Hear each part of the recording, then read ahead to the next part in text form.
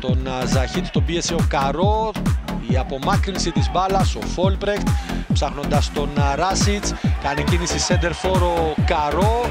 Ο Καρό το πλασέ, η μπάλα στα δίκτυα. 0-1 στο 11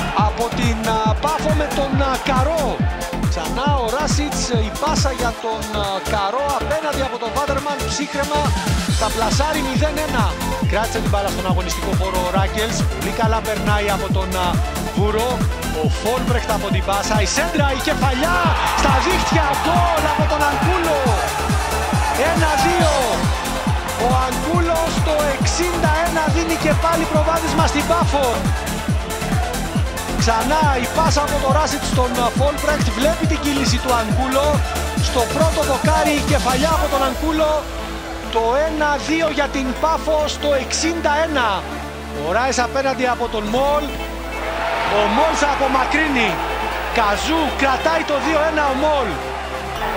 Και νεύρα τώρα και πάλι εδώ ο Μολ θα απομακρύνει την μπάλα στο πέναλτι. Για να δούμε ε, προϋποθέσεις τώρα για την επίθεση για το Αποέλ. Κλωναρίδης γυρίζει, Αντζίλη, η ευκαιρία με Ζαχίτ, πλασάρει με τα πόδια, ο Ρούτκο θα σώσει. Έχουμε ωστόσο υπόδειξη για offside.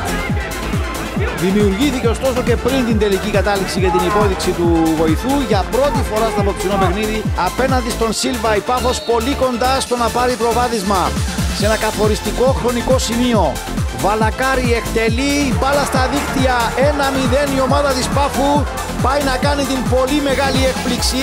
84ο λεπτό στο παιχνίδι Πάει να κάνει την πολύ μεγάλη έκπληξη που θα έχει εάν τα καταφέρει στο τέλος η Πάφος. Τα κάθεται για τον ε, Μέρφυ, κλείστηκε με τη μία ο Βαλακάρη για τον Περικό πάει να δημιουργηθεί ευκαιρία. Περικό μένει όρθιος, γυρίζει, κάνει το πλασέ 1-0 η Πάφος στο δεύτερο λεπτό με τον Περικό νωρίς νωρίς να ανοίγει το σκορ. Φάουλ του Περικό στον Βινίσιους, για να δούμε.